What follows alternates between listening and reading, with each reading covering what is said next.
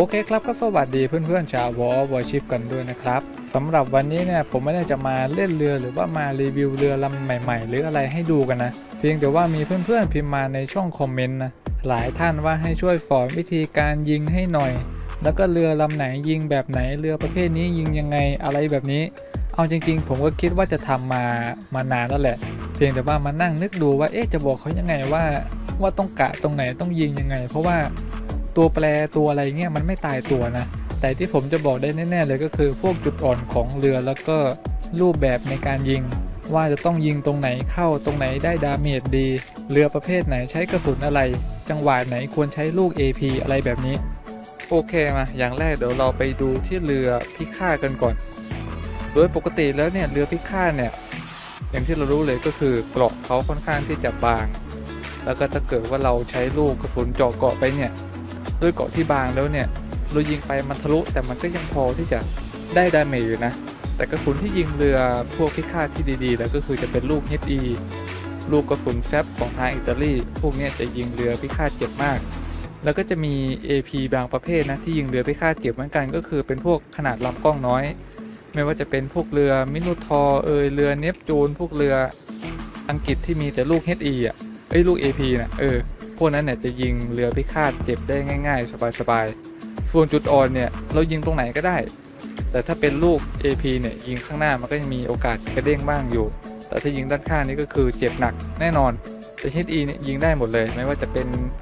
ทำมุมแบบไหนข้างหน้าข้างๆ ก็สามารถยิงได้สบายไม่มีปัญหาอะไร ส่วนถัดมานี่ก็จะเป็นเรือลาตเวน เรือลาตเวนเนี่ยเราต้องเข้าใจก่อนว่า เรือลำที่เรายิงเนี่ยเป็นของประเทศอะไรมั่ง คือลำที่ยิงง่าย ๆ เลยนะก็จะมีเป็นพวกญี่ปุ่นอังกฤษอย่างเงี้ยแต่ถึงอย่างนั้นมันก็ขึ้นอยู่กับว่าจุดยิงเนี่ยเรายิงจุดไหน เราก็ต้องมาดูการวางเกาะของเรือลำนั้นก่อน เราต้องเอาพวกชุดเกาะไปเออแล้วเรามาดูว่าจุดห้องนิรภัยของเขาเนี่ยมันมันอยู่ระนาบประมาณไหน อย่างเรือลำเนี้ยของทางโซเวียตเปโตรพาลอฟ มันก็จะอยู่ช่วงบนบนบ่อย ถ้าเราเล็งตรงเนี้ยมันก็สามารถยิงเข้าห้องนิรภัยได้ ยิงฟิตเทลได้ ตรงนี้ก็ได้ คือเปิดด้านข้างอะยิงได้หมดเลย อย่างที่เราเห็นเลยคือช่องนี้พวกมิโนทอร์อะไรก็เหมือนกัน เราต้องเข้าใจเรือลำนั้นก่อนว่างั้นอะเนี่ยแบบเนี้ยโอ้โหตัว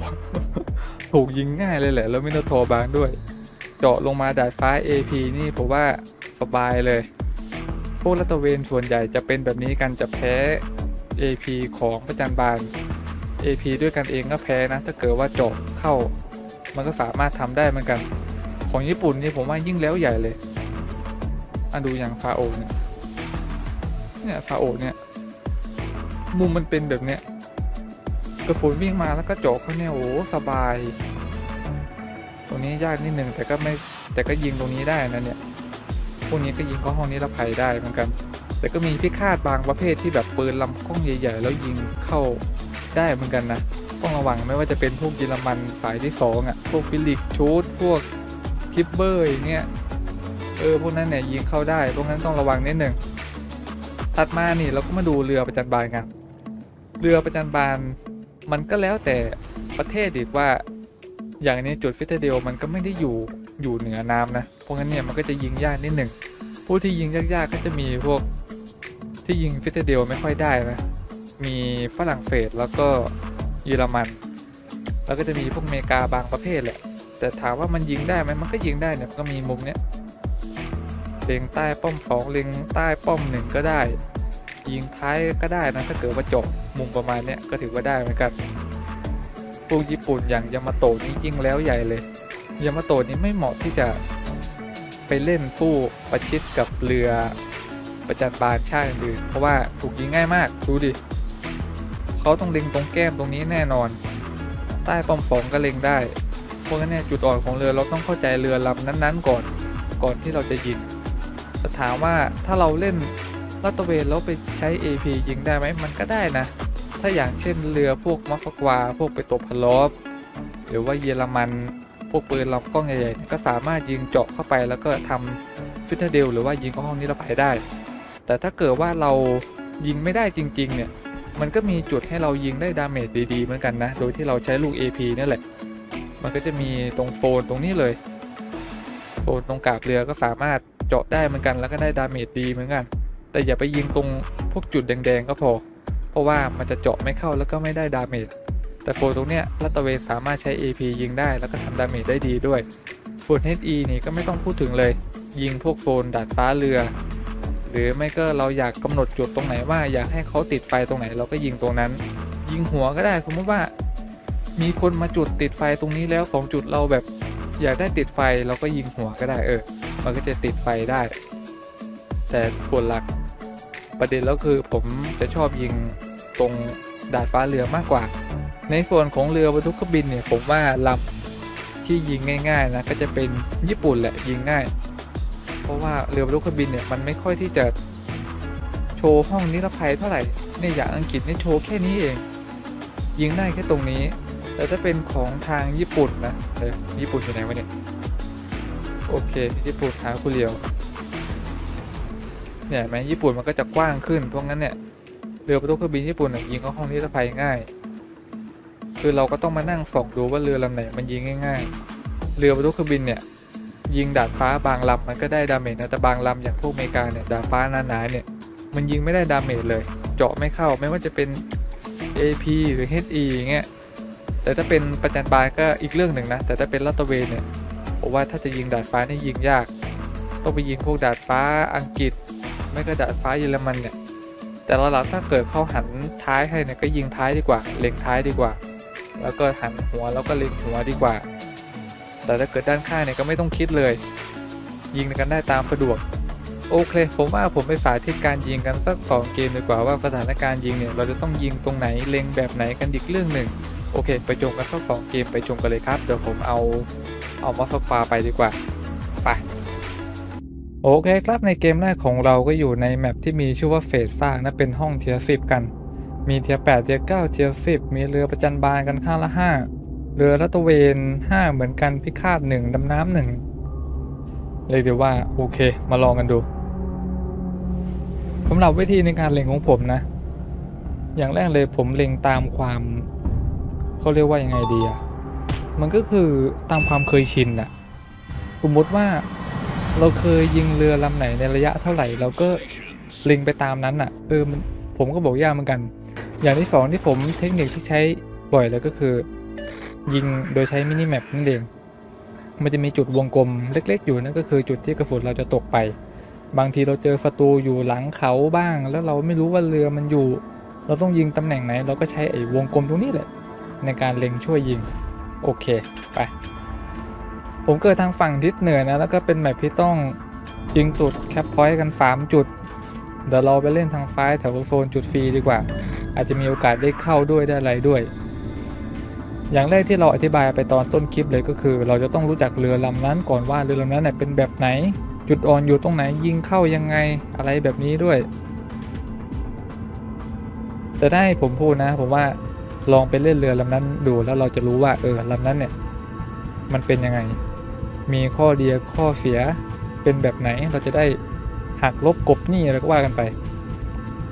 เดี๋ยวเรามาดูก่อนว่าเราจะเจอใครมั่งแต่เวลายิงไกลๆเนี่ย ปกติผมเล่นลาตเวผมชอบเล่น HE อยู่แล้ว แต่สำหรับเราเนี้ยต้องสลับกัน ถ้าจังหวะมันดูน่าใช้จอกเกราะเราก็ใช้ จังหวะไหนที่เขาแบบหันหน้าให้หรือว่าหันหลังให้เรายิงเจาะเกาะไม่ได้ เราก็ใช้ลูก HE ยิง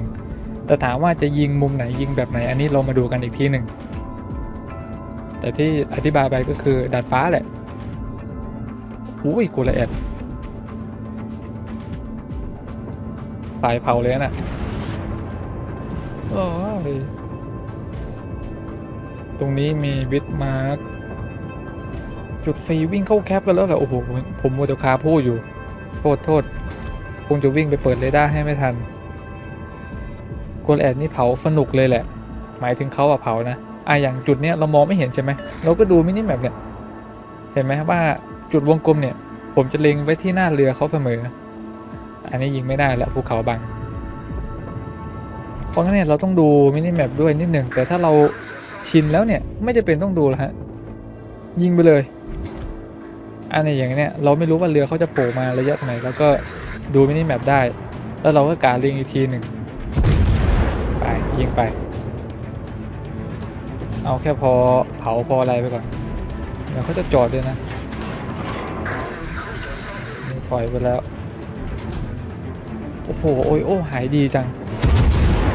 อันนี้ผมจะเล็งโซนดาดฟ้านิดหนึ่ง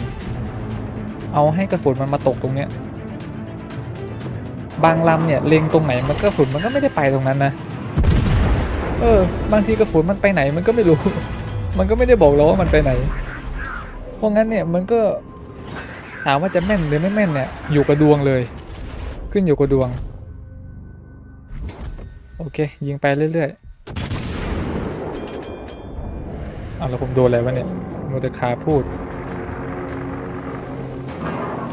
เวลาผมพูดแล้วผมเล่นไปด้วยนะ ผมบอกเลยว่าสมาธิไม่มี มันบอกไม่ถูกอะตรงนี้มีบิทมาร์กวิ่งมาบัง เป็นไปได้ก็อยากจะยิงตัวลแอดนั่นแหละ โอ้โหโทรสปอร์ตเดินเรือดำน้ำเรือดำน้ำมันเล็งผมแล้ว ปล่อยดีกว่าเรียบร้อย เอาจริงนะเกมนี้มันจะบาลานซ์นะถ้าเอาเรือดำน้ำมา เฮ้ย โอ้โห ชิบหายแล้ว โอ้โห แบบนี้ผมต้องดีๆเนี่ย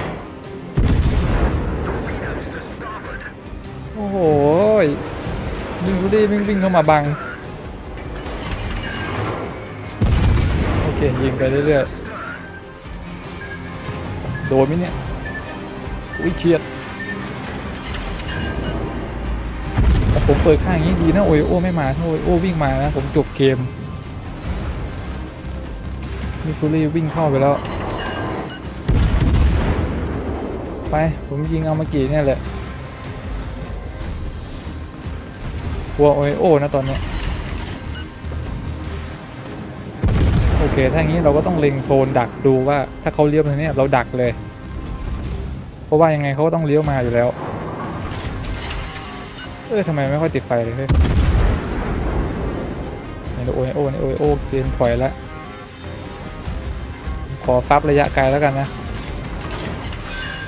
โอเคได้มาหนึ่งคิวด้วย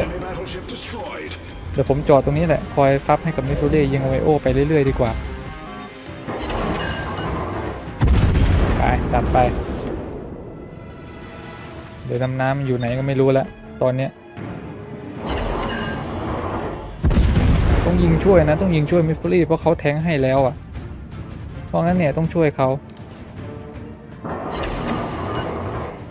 อะยิงหัวเรือนิดหนึ่งให้กระสุนมันก็ตกตรงเนี้ย โอเค อันนี้เหมือนเขาจะจอด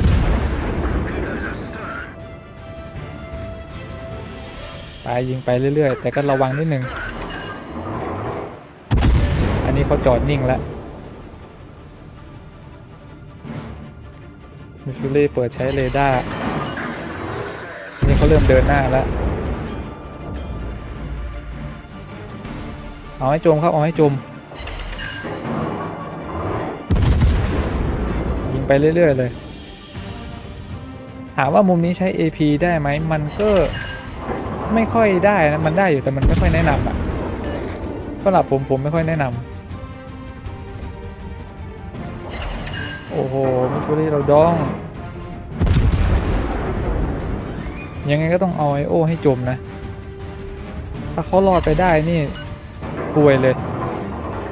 มิสซูรี่ตายฟรีพวกนั้นเนี่ยจะไม่มีเหตุการณ์แบบนั้น โอเค เยี่ยมครับ เรือดำน้ำอยู่ทางโน้นโอ้โหเรือดำน้ำอยู่กลางวงเลยเหรอเรือดำน้ำอย่างฝุดฝุดจริงอ่าอย่างตัวนี้มีฟาเลมเนี่ย เราก็ดูมินิแมปแต่นี้ยิงไม่ได้เพราะติดภูเขา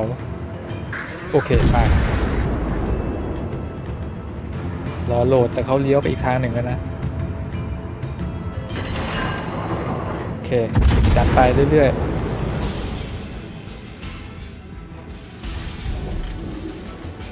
โดนไหมโดนเดี๋ยวเราวิ่งไปนี่แล้วก็ ยิงได้ มีมุมให้ยิงอยู่ Ibuki เราจมไปแล้ว โอเค ฟาเลมเขาก็จมไปแล้ว ตัวนี้สกอร์สูสีกันแต่ว่าเขา cap ไป 2 จุด แล้วเราก็เสียเรือไป3ลำเขาเสียไป 4 แต่เรือพิฆาตและเรือดำน้ำยังอยู่เหมือนกันทั้งคู่เลย แต่ spot ล่าสุดก็คือเรือไม่ใช่เรือดำน้ำหรือเรือพิฆาตอยู่ข้างหน้าเรา ถามว่าตรงนี้ใครจะ cap ก็ต้องเป็นเรือดำน้ำแหละครับ ผมแค่มา sup ให้ เท่านั้นแล้วตอนนี้ผมถูก spot แล้ว กูเลยแอบอยู่ทางนี้ เตรียมเปิดเรดาร์ในสามสองหนึ่งอ่านี่เอาเลยโอ้ยโดนน้อยจัง เราต้องเล็งกะว่าเขาจะต้องเลี้ยวกลับไปอีกทางหนึ่ง ดวงล้วนๆเลย นี้ยิงไม่ได้แล้วป้อมหน้าเนี่ย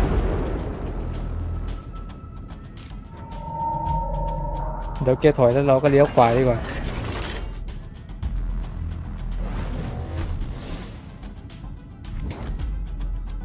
อืมยามาโตะไอกิวข้างแหงไปแล้ว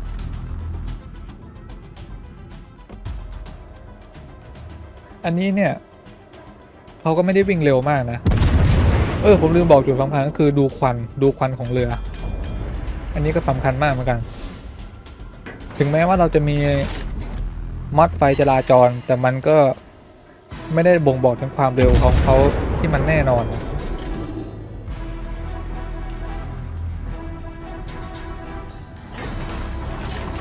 ยิงไหมครับ เจอตรงไหนก็ยิง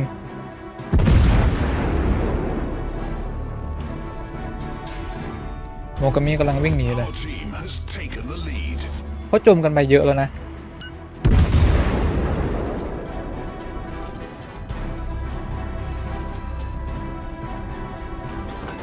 อ่าผมถูกเล็งอยู่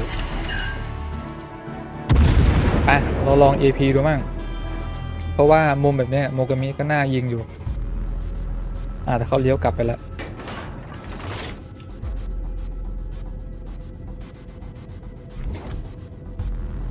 รู้สึกว่ายูกุโมะเขาเล็งผมแน่นอน นี่ต่อมาครับ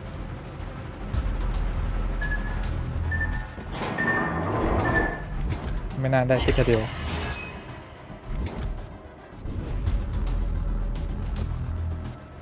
นี่เขาจะเลี้ยวไปทางไหน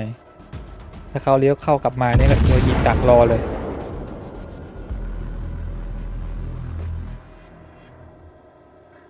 นไหม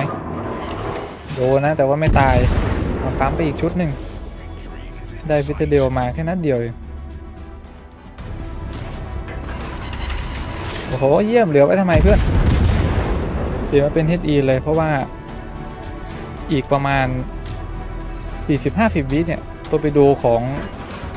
ยูโกโมจะเสร็จแล้วนะโอโมกามิหน่อย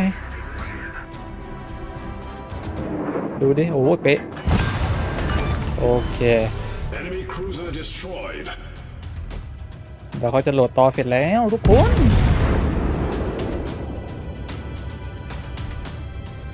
นี่เขาอยู่ข้างหน้าผมเนี่ยแถวๆนี้เลย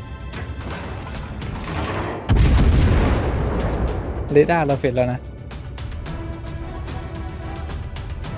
โอเค เดี๋ยวเปิดให้เพื่อนดีกว่าสามสองหนึ่งโอ้ไม่ใช่ไปทางนู้น เออก็ไปอยู่ทางนู้น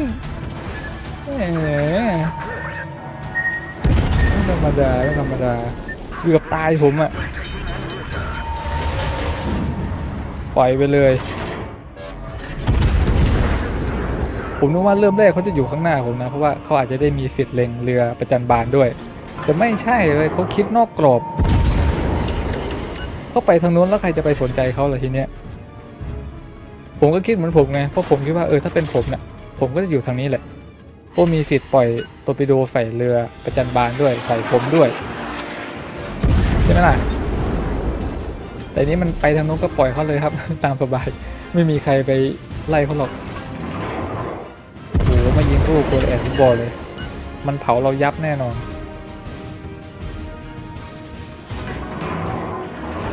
เคเราก็ยิงดักเขาไปหน่อย โดนนะแต่จอดไม่เข้า ถามว่าสูตรที่ผมยิงเนี่ยมันมีโอกาส โดนมากน้อยแค่ไหน ผมก็ผมก็บอกไม่ได้นะ มันก็โดนบ้างไม่โดนบ้าง แล้วแต่ดวงแล้วแต่ปืนความแม่นของมันเลย แต่โดยส่วนใหญ่แล้วถ้าเรายิงชินชินมือเนี่ยมันก็จะโดนแหละ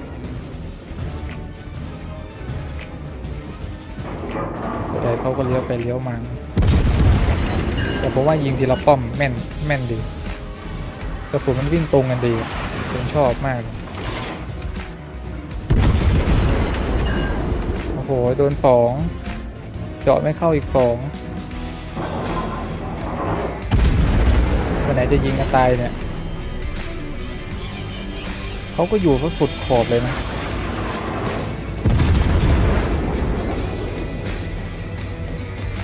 ไปยิงกันไปครับ แต่จะหมดเวลาแล้วโอเคเรียบร้อย ยังไม่หนำใจ โอเคครับในเกมแรกก็ได้รับชัยชนะมาได้เงินมาใช้3แสน3หมื่น566ค่าประสบการณ์6,564 EP ฟลาอีก412ไม่มีเหลืออะไรเลยทำความเสียหายไป 126,750 ยิงเข้าเป้า 172 นัด หมดสภาพ 2 นะ จมเรือไป 2 ลำ เกิดไฟไหม้9ยิงเข้าห้องนิรภัย 1 พบค่าศึกอีก 2 ในส่วนคะแนนเบสอยู่ที่ 1,560 รายละเอียดก็จะมีเป็นกระสุน HE 85,000 AP 12,000ไฟไหม้อีก 28,000 ในส่วนของเงินเนี่ยเราหักค่าซ่อมไป 49,000เหลือเงินมาใช้อยู่ 280,586 เฮ้ยผมลืมใส่ธงเพิ่มเงินแน่เลย โอเค เดี๋ยวเราไปรับชม gameplay ที่ 2 กันต่อดีกว่าครับ โอเคครับในเกมที่ 2 ของเรานี่ก็อยู่ใน map ที่มีชื่อว่าเทือกเขานะเป็นห้อง tier 10มี tier 8 tier 9 tier 10กัน แล้วก็ในเกมนี้เนี่ยผมเปลี่ยนเอา GK มาเล่นดูเพราะว่าไหนๆ GK ก็จะถูกถอดออกจากสายวิจัยไปเป็นเรือพิเศษแล้วเพราะงั้นเนี่ยเราก็เลยเอามาเล่นกันดูดีกว่าอีกอย่างหนึ่งเห็นก็ว่าปืนมันไม่แม่นด้วย ถ้ามันไม่แม่นเนี่ยมันก็น่ามันก็น่าเอามาเล่นดู เออด้วยความที่ปืนมันไม่แม่นนี่แหละ ผมเกิดทางฝั่งทิศใต้นะแล้วก็เป็นแมปที่ต้องชิงธงกันมีเรือประจันบานเนี่ยกันข้างละห้าเรือละตะเวนสี่พิฆาตสามผมว่าผมไปเล่นเล่นเลนซ้ายดีกว่า เห็นเพื่อนๆบอกว่ามันมันมีเรืออันนี้มาด้วยใช่ไหมเรือดำน้ำไม่รู้เรือดำน้ำเขาเข้ามาในห้องผมได้ยังไปเดี๋ยวเราเลี้ยวออก ซ้ายดีกว่า ตรงนี้มีมอสควาจอดอยู่ขวางเลนเรา ชนนะเนี่ยเดี๋ยวไปทางโน้นน้อยชนให้เข้าไปข้างหน้าก็ได้ดันไปดันไป อ้าว ถอยหลังฟังกัน โอเคสติ๊กอะไรกัน GK ผมบอกเลยผมใส่ ผมไม่ได้ใส่รีโหลด ผมใส่เพิ่มระยะการยิงมา เพื่อให้มันมันเล่นแบบเล่นง่ายขึ้นมานิดนึง 20 โลนี่มันไม่ได้นะมันยิงไม่ได้เลย ทางนู้นมีคิตะคาเฟ่ตรงนี้ก็มีคิตะ อ่า เคียบอยู่ทางนู้น ยามาโตะอยู่ทางนู้น โอเค ดูก่อนว่าเขาอยู่ทางไหนกัน เปาโลทำไมจะหนีมาทางนี้เราจะไปทางนู้นอ่าเห็นเอฟเดอร์ฟีดิสเตอร์นายมา โอเค ถ้าระยะแบบเนี้ย22กว่าโล เรารอจังหวะเขาค่อยๆเลี้ยวก็ได้ อาศัยความเคยชินของเราว่าเราเคยยิงระยะไหน โอเคจัดไปเขากำลังเลี้ยวด้วยในกระสุนเวลากระสุนมันเดินทางนิดหนึ่ง เขากำลังเลี้ยวกลับเลยเออโดนไปสามสี่นัด ได้มาหมื่นสี่จูดแลนด์อยู่ทางนี้เป็นตัวพาล็อกก็อยู่คิตากาเฟบอกกูไม่อยู่แล้วเป็นไปได้เนี่ยเอาไปตัวพาล็อกก่อนแต่มันเอายากนะ เรือมันแข็งอันนี้มีโคลัมโบโคลัมโบไกลจัดเลยแหละมีใครอีกมีโยชิโนะโยชิโนะเราต้องเลงประมาณนี้เลย เราต้องดูมุมเขาด้วยเวลาเวลายิงอะแต่ที่แน่เขาต้องเลี้ยวกลับเข้าเลย อย่างที่เรารู้ GK เนี่ย ไม่เหมาะกับหันหน้ายิงบนภูเขาโอ้โหโคลัมโบยิงมาด้วยภูเขาเต็มๆโอ้ เจ็บ โอเค ผมหามุมได้แล้ว ขออยู่มุมนี้แหละรีพับบิกเล่นลูกที่ดีด้วย โอ้ติดไฟแต่นัดแรกเยี่ยมไอ้นี่เขาจอดหลังเขาไปแล้ว จะออกมาไหมเขาออกมานี่โดนนะผมไม่ออกมาหรอก มีโคลัมโบยิงมาอีก ไปแล้วก็เล็งกะดักไปเลย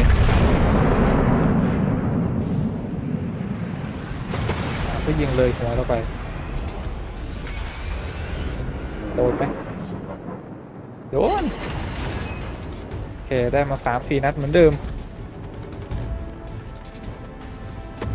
ล้อโหลดครับ โอ้คลิปแรงเปิดข้างเลยคือนนี้ผมยิงไม่ได้อยู่ดี มุมเนี้ย ถ้ายิงมีโซ่โคลัมโบดีกว่าจัดไป เนี่ยผมจะเอาเส้นเนี่ยนะแปะกาบเรือเขาเนี่ย แต่เรือเขากำลังเลี้ยวกลับแหมไม่ได้ฟิตเตเดียว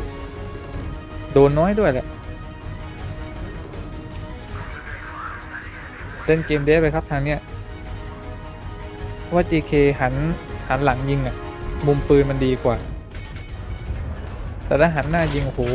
ถ้าเราจะยิงทุกป้อมเนี่ย เราต้องเปิดข้างเยอะเลย อันนี้เขากำลังเลี้ยวกลับ นี่คือเดาล้วนๆเลย หลักสูตรการเดาล้วนๆ มันก็ไม่เชิงว่าจิตวิทยาอะไรขนาดนั้น มันก็เดาแบบเดาทางเขาอะอะโดนอุ้ยเดฟิตเดลด้วย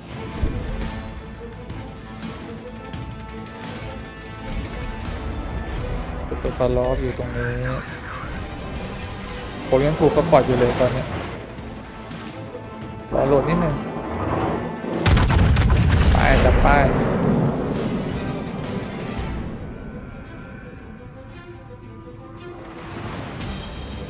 เดี๋ยวพิฆาก็อยู่โซนไหน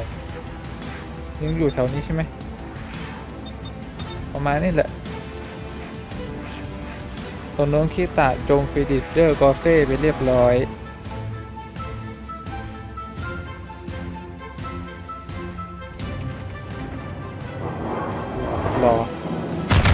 เล็งหัวเนี่ยนะเออแต่มุมเขาก็ทำมุมแองเกิลอยู่ในระดับหนึ่งนะแล้วเล็งหัวมันก็ไม่ค่อยจะโดนนักหรอกโอ้โอเคได้อยู่สองนัดแย่แล้วพิฆาตเราไม่อยู่ตรงนี้กันเลย ผมก็ไม่กล้าอยู่แล้วนะทั้งนั้นน่ะยีบแรงก็จะต้อง ไม่ได้ อ๋อพิฆาตเราวิ่งไปแคปแล้วครับ จบเกมนะครับทุกคน จบเกมแล้ว โอ้โห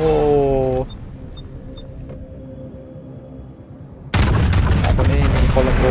อยู่ยังเล่นกับเราอยู่โอเค ดูกระสุนนิดหนึ่งโอ้โหกระสุนมุดลงเลยเมื่อกี้ โดนไม่เต็มอะ โดนไม่เต็มไม่เต็มหน่วยเลย บอกเลย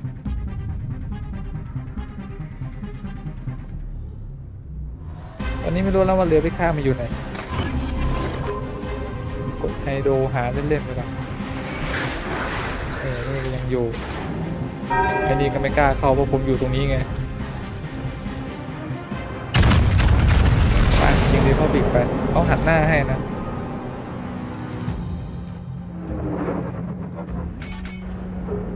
เดินหน้ากันสักหน่อยดีกว่าโอ้ยไปโดนตรงไหนวะน่ะ เออ ไปโดนตรงไหนมันเข้าเป็นหมื่นเลย เพื่อนหนีไปหมดแล้วครับทางเนี้ย เหลือผมคนเดียวเลยแหละมาจอดเล่นอ่าเรียบร้อยกีตาร์ครับเฟเฮ้ยพี่แต่เกษตรเราเอาไปแคปแล้วโดนเลยเพื่ออะไรของเขา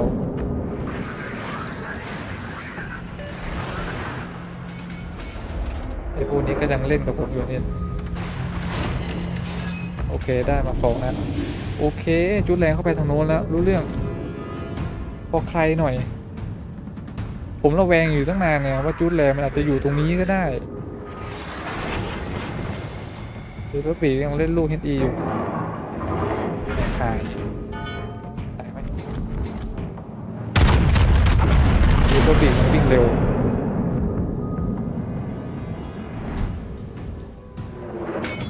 เดี๋ยวกลับไปสู้กับมันดีไหมเนี่ยโอ้โหกระสุนวิ่งไม่ทันนี่อันนี้กระสุนวิ่งไม่ทันจัดเลยผมว่าเราตีมฮิลเลือดแล้วก็ไปสู้เขาดีกว่า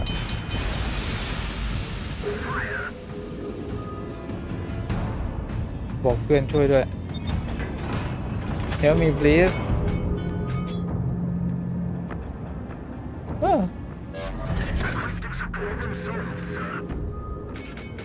จะรอเพื่อนดีไหมเนี่ย แต่เราเข้าไปเนี่ยเราตายนะ เออเราตายแน่นอนเลยนะบอกไว้ก่อนสองลำเลย ถ้าจะเล่นจริง ๆ นะ ต้องล่อเข้ามา เราต้องกะความเร็วเขาเพราะว่าเราจะไปเจอกันกับเขาตรงช่วงประมาณนี้เพราะงั้นเนี่ยผมจะเลี้ยวตัวเรือกลับตรงเลนประมาณนี้เพื่อดักรอเขา อ้คลิปแรงยังใจกล้าเขาเทียแปะเขายังใจกล้ามาโคโปโล คุณเทียเก้าคุณ คุณไม่ใจกับเขาอะคาดว่าน่าจะถึงตรงนี้แล้ว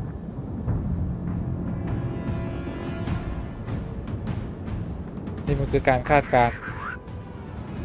เราต้องคาดการณ์ศัตรูแบบนี้แหละ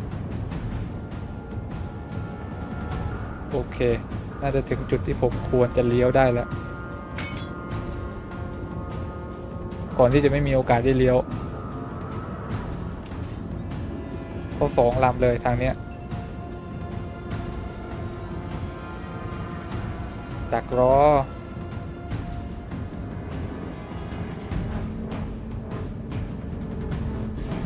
โอเค ทีนี้เราก็ผ่อนรอเขา จะมาไหม อันนี้ไม่รู้นะ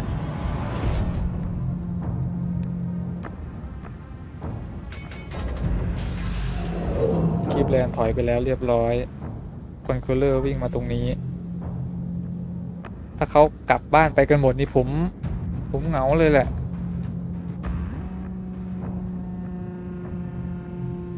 เงียบกริบ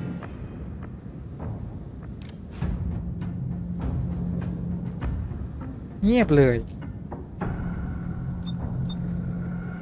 หรือว่ายังเดินทางมาไม่ถึงหรือยังไง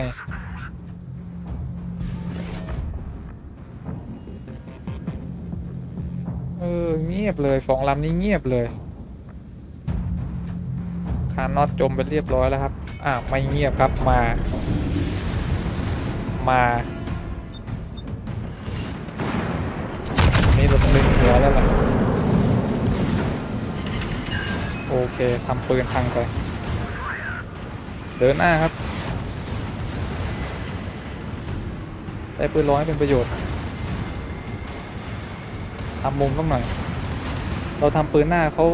เลี่ยงอยู่ตอนนี้เนี่ยอย่างฝรั่งเศสมันจริงซิเซลไม่ได้อยู่แล้วดัดไปอีกยุคหนึ่งเออโอ้โหกระเด้งไปหกนัดเลิกขึ้นมาเฮ้ยเดี๋ยวหมอตกใจหมดนึกว่ารีพับลิกไม่มีเครื่องแอร์สไตล์กูก็ว่าอยู่เอ๊ะทำไมมันแมนบ่ไเดินลองยิงไปยิงหัวสักหน่อยตั้งใจไว้ให้กระสุนมาลงตรงเนี้ยเอออะไรเก็บโอ้แต่ผมจะชนขอบแล้ว เรียบร้อยชนขอบรอโหลดเลยเขาก็ไม่กล้าเปิดข้างนั่นนะ รอจังหวะดีกว่าแต่ดูทรงแล้วเขาคงเขาคงอยากจะชนแหละ อืมว่าหันหน้ามาขนาดนี้มันก็ยิงไปเลยโอ้ปืนเจาะดีเว้ยเงยหน้าขึ้นมาที damage ไปแสนหกเลยอะรีบๆจบกันดีกว่า เพราะว่า เดี๋ยวผมต้องไปทำงานแล้วพวกนั้นรีบ เออรีบโดนลูกกระสุนน่ะยัดไปอุ้ยคือตัวเดียวได้เฉย We destroyed an enemy battleship. แล้ว Colombo อยู่ไหนตอนเนี้ย Colombo นายอยู่ไหนเพื่อนทำไมปล่อยรีพับบิกมาคนเดียว แต่ดีนะที่มันมาคนเดียวขนาดมันมาคนเดียวผมยังจะตายเลยรอดับไฟแล้วก็รอฮิวก็ได้ เคอย่างน้อยก็ยังมีชีวิตรอดด้วยเฮ้ยโคลัมโบหายเงียบเลย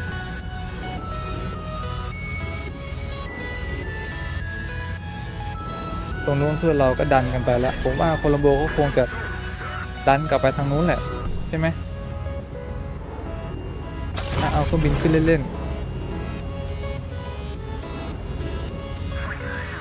อ่าหน่วงก็ไปทางนู้นแล้ว โอเค